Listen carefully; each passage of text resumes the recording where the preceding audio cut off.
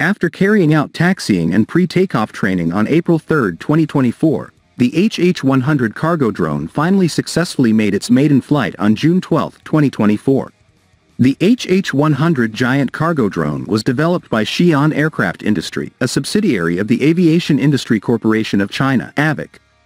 This aircraft, with a rugged design that supports a maximum takeoff weight of 2,000 kilograms and a payload capacity of 700 kilograms, opens up new possibilities for air cargo delivery in the future. The HH-100 will significantly increase the speed and efficiency of delivering critical supplies in crisis zones during natural disasters, for example. Drones can be used for rapid delivery of food, medicine and other essential supplies to disaster-affected areas.